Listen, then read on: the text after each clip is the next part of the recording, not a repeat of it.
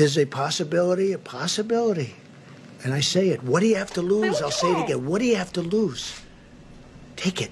I really think they should take it. But it's their choice. And it's their doctor's choice or the doctors in the hospital.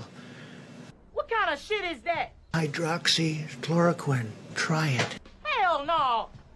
Bye, Felicia.